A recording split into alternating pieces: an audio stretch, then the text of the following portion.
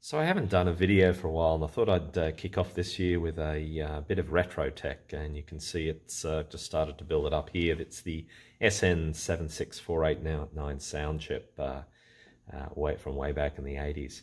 But before I get into that, I thought I'd do a quick channel update. Uh, one of the main reasons that you haven't seen a video for a while is this, this thing here. So my wife was kind enough over the Christmas break to uh, buy me one of these. It's a uh, 50 watt uh, laser cutter.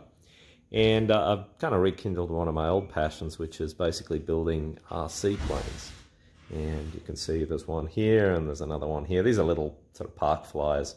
I've always been interested in RC and, uh, you know, I thought I'd uh, basically use the laser cutter, get download plans off the net, um, cut those plans into balsa and plywood, uh, and then uh, and then do some planes. So it hasn't. That's not quite the content of this channel. So I didn't post any kind of videos of that process. Um, if anyone has any interest, though, I'm more than happy to sort of post up some videos on uh, kind of the way I do it. Uh, I'm obviously uh, still learning a lot about the uh, laser cutter. There's plenty of channels online that um, that um, dive in deep to laser cutters. I'll, I'll include one. There's a uh, gentleman. The, the, the, channel name is Sabar Multimedia. It's probably one of the best ones out there. But anyway, I thought I'd just uh, sort of provide some reasoning why you haven't seen a few videos from me for a while. But uh, let's uh, get right into the uh, SN76489 now.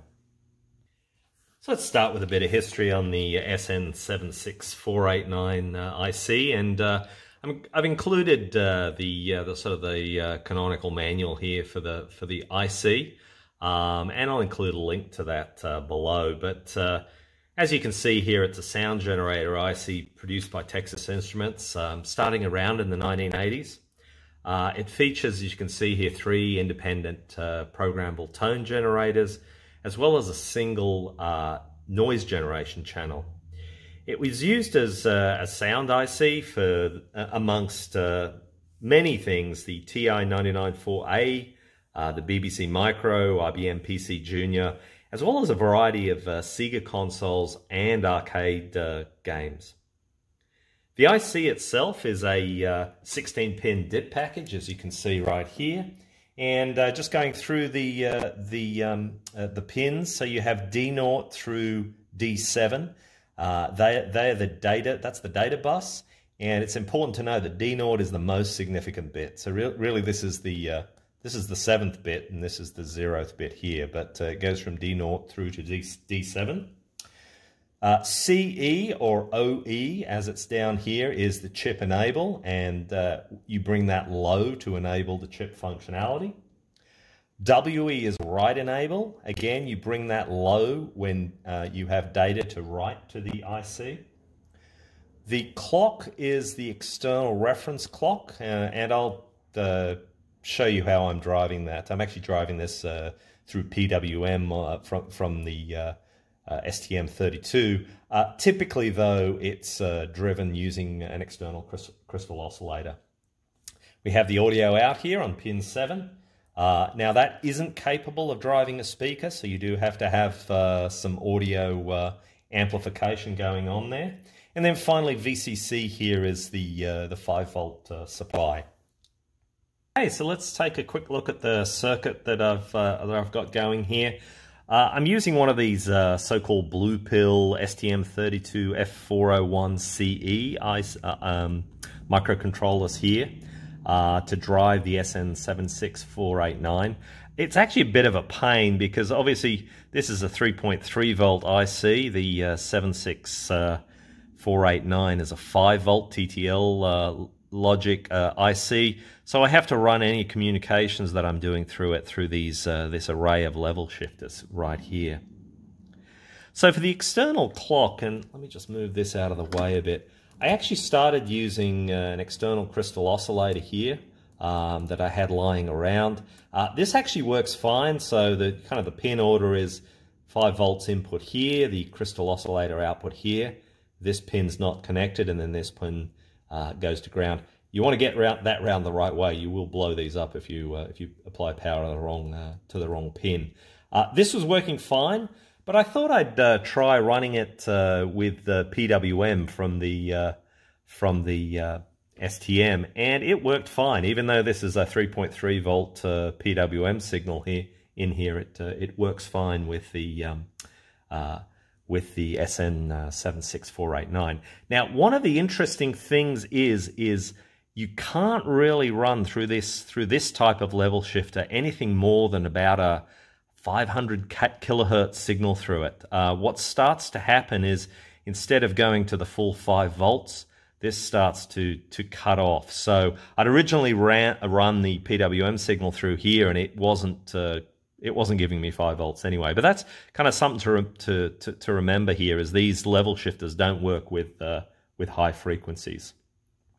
So what else have we got going on here? So you can see all the, here's all the, uh, the signals from the, um, the STM32, and I've got them down here. So uh, I've got D2 connected to PA5, D1 to PA4, and so on and so forth. Now, I'll include uh, a link to the GitHub repo for this so that you can see the project that I was using here. But, uh, but uh, basically, all these pins here go to their respective pins on the STM through the uh, level shifters right here. So what else have I got here? Uh, you can have a look here. As I, as I mentioned, the... Um, the audio output cannot drive a speaker, so you do have to run it through uh, some sort of audio amplification. I'm using the uh, LM386 circuit that I've uh, used elsewhere here.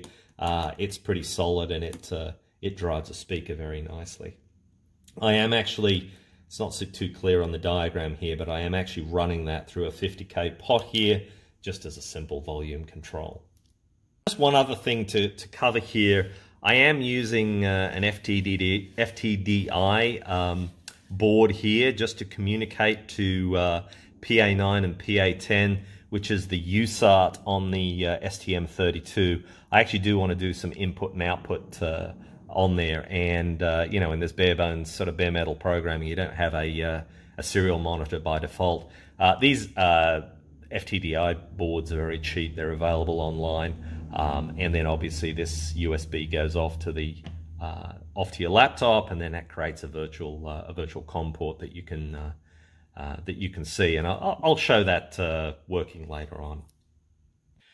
Okay, so enough talking. Uh, let, us just hear this thing in operation. So I'll, I'll, turn this on, but just to explain what you're going to hear is going to play a, a section of, uh, of chords of varying frequencies. First chord uh, C major and then D minor. And that kind of sort of demonstrate the uh, the three uh, the three the three channels you have there. So anyway, you'll you'll hear uh, the C major and the D minor chord uh, four times in succession with with varying frequencies. So let me turn that on, and you can hear that. I'll shut up talking. Turn the volume up a bit.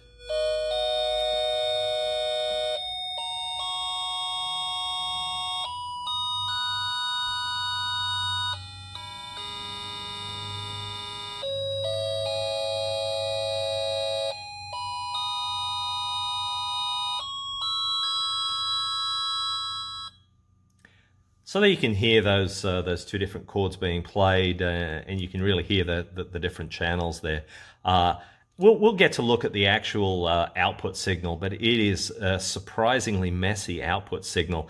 Uh, one of the things I was uh, thinking I would get out of this would, would be sort of a nice clean square wave. You don't get anything like that, but that's right up. let's move on to the code itself, and we'll take it Okay, so as I usually do, I've built the code uh, using the STM IDE workbench, and all the code that you're going to see here is up on the GitHub repo, link down below. So let's have a look at uh, how the IC is programmed. So there's three basic interfaces uh, that, that are available. So the first one is uh, the primary interface that's used to set the channel and tone. The second interface uh, deals with the, uh, the noise source. Uh, and then the final interface is the attenuator. So basically, uh, the attenuator is used to control the, uh, uh, the attenuation for each of the channels. So the first interface here is uh, a double byte send that sets the tone for a given channel. The register address contains the specific channel, so it's 0 for channel 0, 2 for channel 1, and 4 for channel 2. And then that's followed by 10 bits of uh, frequency information. Uh, and basically the way that you calculate the actual frequency of the tone is you take the reference clock, so in my case it's 4 megahertz, and then you divide that by 32 times this value right here. So let's walk through an example here, and I've got uh, I've got it set up down here for let's say I wanted a uh, a one kilohertz tone. So here's the uh, here's the, uh, the, the math right here. The 10 bits that I need is 4 million divided by 32 times a thousand. So that comes out to 125. And in binary, that's 111, 1101. So what I do is I take the last four bits, and that goes into the first byte. So you can see here, that here's the last four bits. And the first byte also contains a leading one, um, and that's always true for setting the uh, channel tone. And then the next three bits contain the uh, channel that you're interested in. So in this case, it's channel zero. So I load that with a zero. For channel one, it would be a two. So I'd have uh, a one bit here. And for channel two, it would have a one bit here. Now, byte two contains the remaining or the sixth most significant bits here. So in this case, I've left out the three leading zeros here, so it's just 111. So basically, I would load that up this is this is all that matters for, for byte 2 here. And so byte 1 is 8D and byte 2 is 07. Sending that will set a 1 kilohertz tone on channel 1. So let's now have a look at the code that, uh, that actually enables that. So this send function here is called twice for the first byte and the second byte. And you can see here that basically it unpacks that byte, picks off each of the bits, sets the appropriate STM32 pin to high or low. And then once that's done, it sets this the write enable pin to low. Uh, and when that happens, that indicates to the uh, SN76, uh, I keep forgetting this, it's 76489, that indicates that data is ready to read from the, uh, from the microcontroller. Now, one of the things that you're supposed to do, and this is what the manual says, is basically uh, poll this RE pin, uh, which is pin 4 on the uh, SN76489 uh, uh, IC. And when that goes high, that means the write has completed and you can continue. I wasn't able to get that working. Um, so I did poll it. It did actually return a uh, high value after the write here, uh, but uh, it you know basically malfunctioned after that. So what I what I did is I hacked it by just in, in, introducing a one uh, millisecond delay, and I've looked around, and, and, and that seems to be the kind of the general pattern for other people who have who have done this. So uh, not quite sure what's going on here. Now this uh, th this pin on the IC is open collector, and I did have a pull up res pull up resistor configured in the uh, RE pin, but still it didn't work. So not quite sure what's going on there. Anyway, uh, this seems excuse me for a moment, this seems to be uh, a reliable mechanism uh, of, of invoking of invoking that set tone interface. And then finally, when you're done, you set the write enable pin back to high again, and that uh, sets the uh, IC back up for the next write. Okay, so I've encoded that uh, that function here in, in terms of pl his play, and it just does that computation, ref clock divided by 32 times frequency, and blah, blah, blah. So uh, I've just uh, got it to play some simple monotonic scales here, so let's uh, hear that. So here's the so here's the scales here. So I've just got it to play uh, play those uh, play those I guess two octaves, three octaves worth of uh, worth of scales there. So that's uh, kind of simple playing. You've heard the uh, chords before. Uh, here's the chord that here's the code that you heard before for the chords. Um, so why don't we do that next? Hold on a moment. Okay, so here's the code the code playing chords here. Um, so here's for each of the channels I'm playing this is uh, C, E, G, C, E, G. I'm sorry, I'm not a musician at all, so forgive me. Um, so basically it plays those three tones together on the three separate channels. and then the stop function just calls the attenuation uh, function to, to silence those. And then I'm doing, uh, uh, I think this is DAC or, so, or something like that. But basically, so why don't we play those and uh, let's listen to these.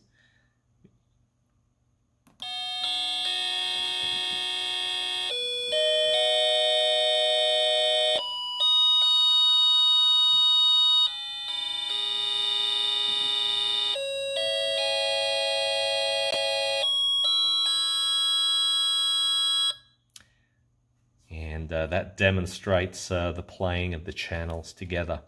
So what I might move on to now is the uh, is the noise generator as the uh, as the final piece of the puzzle here. Um, I have covered the let, let me just cover the briefly the the attenuator function. So basically the attenuator function uh, acts in a similar fashion. So basically the registers for the uh, attenuation, there's actually a bit of a misprint here. so zero is uh, channel 1 frequency and 001 is channel 1 attenuation. And that goes in this spot right here. So 1001 is uh, tells it to to uh, uh, instructs it to attenuate channel uh, channel 0 and then the data here contains the actual uh, the actual bit value of the attenuation and that's up here uh, bear with me so basically a zero is no attenuation and then you can go all the way to complete attenuation. F is uh, complete attenuation for the for the channel. But anyway, let's move on to the uh, uh, to the uh, noise uh, control, and that'll about wrap this up. Okay, so as promised, let's take a look at the output here, and just so you can see, I'm actually probing on pin 5 of the LM386. So that's on the output side of the LM386. So let's have a look at that. So as you can see, that is an incredibly messy uh, square wave. So let me just uh, stop that so we can uh, drill into the signal. Turn this down a little bit. So uh, there it is in all its glory, and uh, it's it's a fascinating. So this is sort of a modulated. Uh, this is the modulated um, output from there. As you can see, it forms that very rough square wave from the, uh, make sure you can see that. I've got my arm in the way. My apologies for that. So there's the uh, there's the output there, and obviously this uh, this square wave here, this is the frequency that you're hearing, uh, but underneath it, there's all that uh, uh, basically all that all that junk there. So uh, it's by no means a, uh, a clean square wave. Uh, it sounds okay to human ears, I guess. Uh, but uh, anyway, I thought you'd uh, find that that interesting. Let's just let's just play that one more time for giggles, so we can see it see it in action. Bear with me.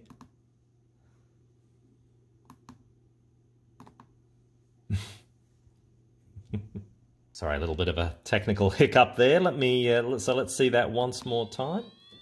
There's that uh, square wave. So this is the actual frequency in there. And the actual, sort of that carrier frequency is around about 400 uh, kilohertz.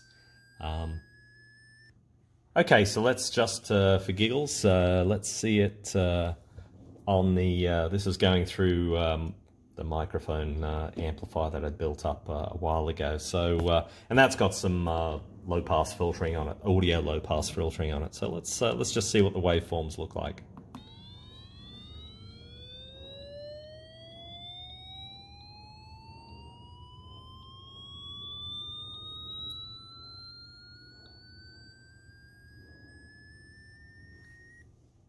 So that's uh, interesting stuff. Uh, I mean, obviously, you're far from a clean signal there, even from a far from a clean square wave. So, uh, so interesting stuff. Anyway, uh, let's uh, let's get have a look at the uh, the noise uh, component, the noise generator next. Okay, so there's two types of noise that are supported in the in the IC. There is periodic noise and white noise, and to give you a feel for what they sound like differently here. So what I'm doing is playing some white noise, um, And then you can actually control what the tone of the noise is. So this is basically N on 512 is this the sort of the frequency of the noise.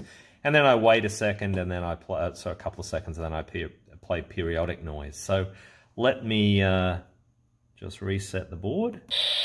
So there's the white noise. And there is the periodic noise. So you can see the, uh, the difference between those two.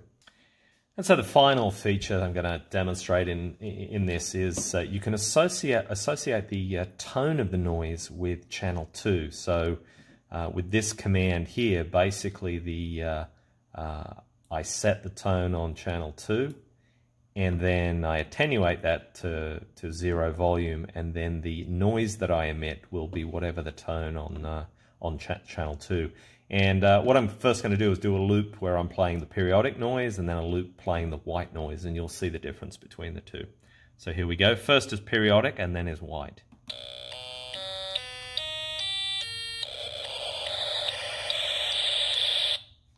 And that uh, second one, the white noise, really sounds like those uh, 80s arcade games, uh, the sort of gun firing and that sort of stuff. So anyway, I hope you enjoyed this um, uh, this uh, quick video on the SN76489. Uh, I had quite a bit of, quite a bit of fun um, making it, so I do hope you enjoy it. I'll include all the links to the code and to the um, yeah, to, to some uh, information on this IC. Uh, I hope you uh, get a chance to have a play around with it. Uh, I'll also include a link. I got these ICs uh, off eBay. They were like uh, 20 cents each for, for, for, for 10 of them. So uh, a lot of fun to play around with. I've already blown up a few of them, so but uh, 20 cents a pop you can afford to. Anyway, that's all for now. Hope you enjoyed the video.